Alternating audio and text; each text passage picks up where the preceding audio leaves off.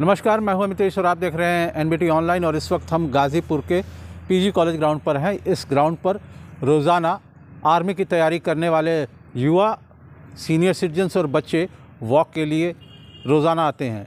लेकिन कोहरे की वजह से विजिबिलिटी बहुत ही ख़राब है, जिसके प्रतिफल यहाँ टहलने वालों की संख्या बेहद सीमित है।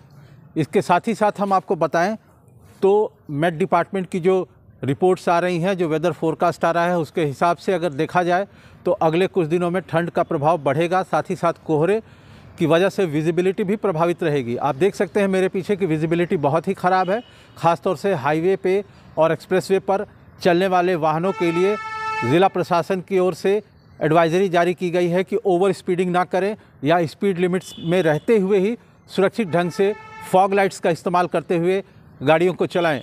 इसके साथ ही साथ अगर मेडिकल के लिहाज से कहें तो डॉक्टरों ने एडवाइस किया है ऐसे लोगों को जो कि एस्थमा और रेस्पिरेटरी ट्रैक इन्फेक्शन से प्रभावित हैं। उनके लिए मौसम काफ़ी तकलीफ़देह साबित हो सकता है। ख़ास हिदायतों के साथ इस कोहरे के बीच अगर बात करें शैक्षणिक पहलू से तो हायर एजुकेशन के इंस्टीट्यूशन पहले ही विंटर ब्रेक के लिए बंद है।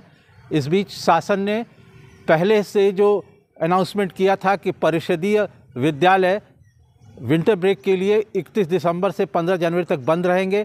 वो भी आज से लागू हो जाता है।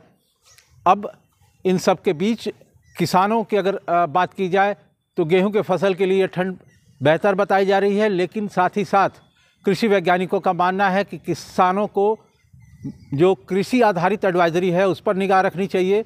अगर उनके खेत में लगी फ़सल पर पाले का दुष्प्रभाव आता है तो उन्हें कृषि वैज्ञानिकों या संबंधित कृषि विभाग के अधिकारियों से संपर्क कर इसका निजात तलाशना चाहिए। Amitesh Kumar Singh, NBT online, Ghazipur.